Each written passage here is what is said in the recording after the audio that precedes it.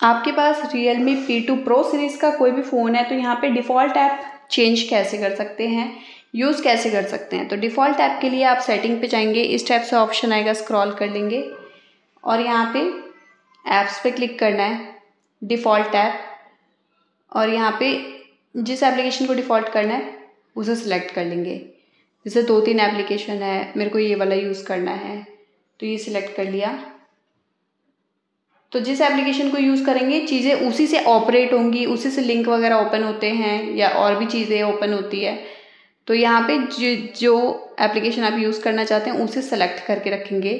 जैसे ये real me का मैसेज अगर यूज़ करते हैं तो ये वाला कर लेंगे, वरना ये वाला।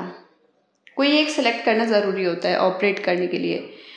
तो ऐसे करके आप चेंज कर लेंगे। मिलते हैं नेक्स्ट वीडियो में, तब तक के लिए नमस्कार।